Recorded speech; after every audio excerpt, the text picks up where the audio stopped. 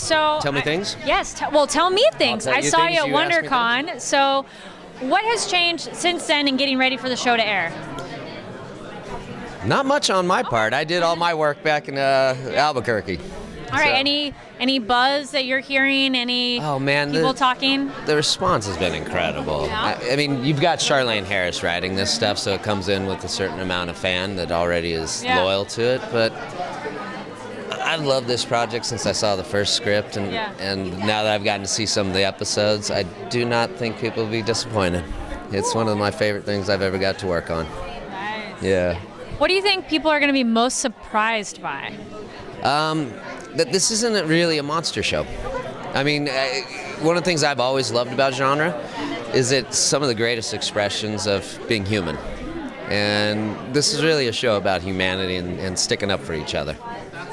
Yeah. Now, so- people didn't see our WonderCon conversation. Tell me briefly about your character.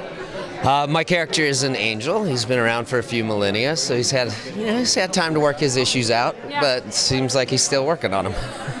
so. How was the experience being a supernatural being? Amazing. It was really good. I mean, again, so well supported by the imagination, but also we had some great CGI artists and special effects, practical effects artists.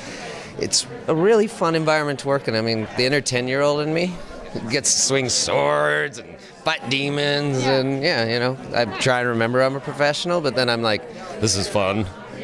so, Okay, and then real quick, why should people tune in to watch Midnight Texas? because it's damn good. Tune in and watch us. Thank you. Thank you so much.